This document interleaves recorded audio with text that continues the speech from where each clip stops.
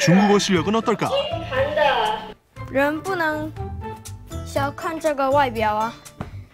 那个以前人说了嘛，那个人不能看外表，要看自那个个性。嗯，对。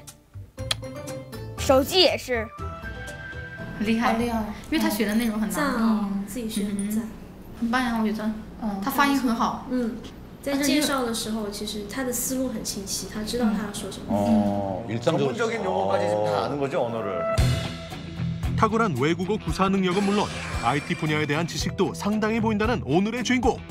야. 일단 만나보기로 했다. 아니 어떻게 저렇게 잘하지 근데 어. 떻게 가르쳤길래? 무슨 공부를 시켰고? 열 살인데. 집에 돌아오기가 무섭게. 책상 앞에 자리를 잡는 아이. 그리고는 자기 주도 학습이죠. What's up, guys? Romacle here, and welcome to Romacle channel and Galaxy A5 동영상 is 찍는 거야? and and the design is the Samsung family look from Galaxy S6.